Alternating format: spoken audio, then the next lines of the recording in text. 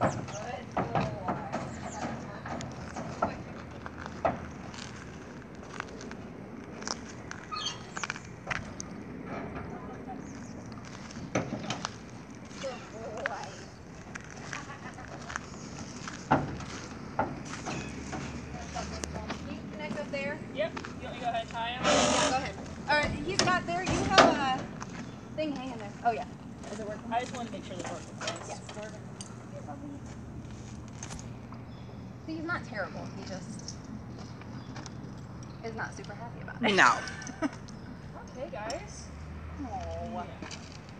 You guys have known each other a long time. You'll be fine.